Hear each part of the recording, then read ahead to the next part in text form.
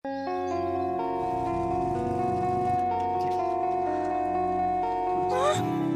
ានខ្មោចមានខ្មោចប៉ាប៉ាចាស់កម្រិនជុំនឹងកូនភាសាបរទេសសួស្តីខ្ញុំឈ្មោះបែនជីមានបារាំងសេះធ្វើជាកូនភាសា ជាសំណាងរបស់អ៊ំហើយ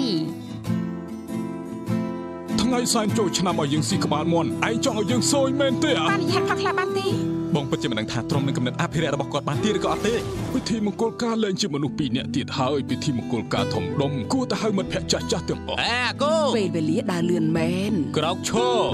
គោរព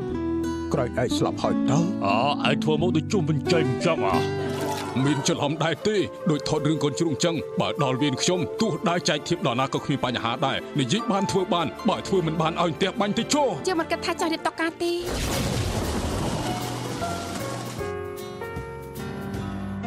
កើតអីទេហ្នឹង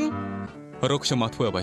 យើងចង់ធ្វើបឡុងខ្យល់ថាម៉េចអាគោធ្វើរឿងអត់ប្រយោជន៍ទៀតហើយអើអារឿងអត់ប្រយោជន៍ចឹងត្រូវតែឲ្យមនុស្សអត់ប្រយោជន៍ដូចយើងធ្វើទៅ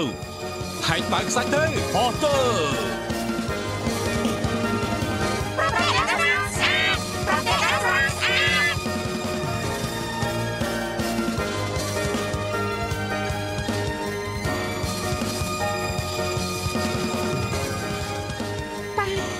នស្រឡាញ់ប៉ារឿង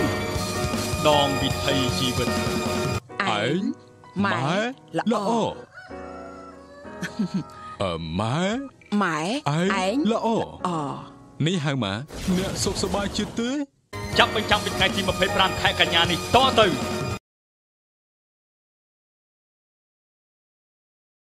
នៅរោងភាពយន្ត Platinum Cineplex ផ្សារសូរិយា